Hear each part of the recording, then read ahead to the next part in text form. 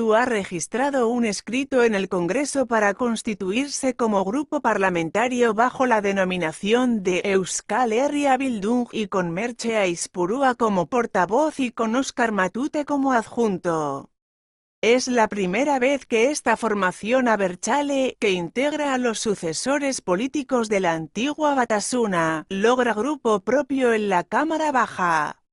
Una vez constituida la Cámara, se ha abierto un plazo de cinco días hábiles para que comunicar la formación de grupos parlamentarios conforme al reglamento del Congreso.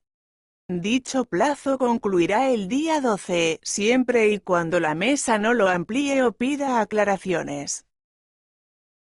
El reglamento establece que todos los partidos que tengan 15 o más escaños podrán constituir grupo parlamentario, requisito que cumplen PSOE, PP, Vox y Unidas Podemos y sus confluencias.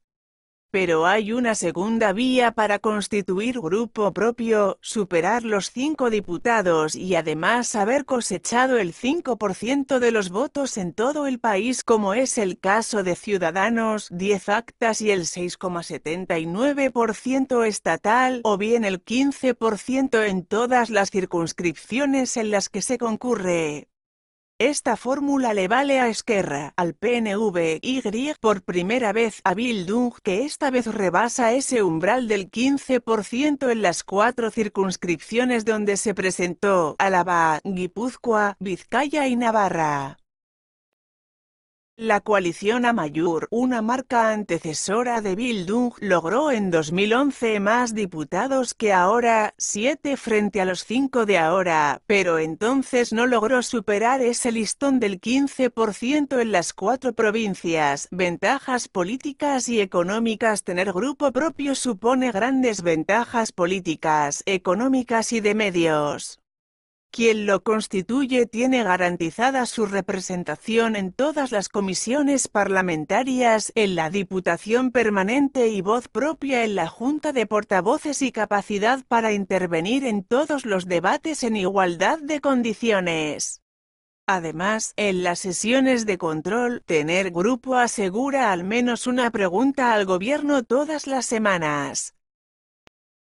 En el plano económico, por ejemplo, durante la anterior legislatura las fuerzas políticas que se constituyeron en grupo recibieron en el Congreso una subvención fija de 28.597 euros con 8 céntimos mensuales y otra variable en función del número de diputados componían el grupo, que ascendía a unos 1.645 euros con 49 céntimos mensuales por escaño.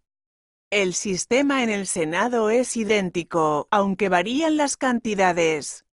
Además, solo habiendo conseguido grupo parlamentario propio se puede acceder al cobro de las subvenciones por envío gratuito de propaganda electoral durante la campaña y las ventajas se prolongan para las siguientes elecciones porque los que ahora lo consigan tendrán opción a presencia en los futuros debates electorales y planes de cobertura informativa de los medios públicos.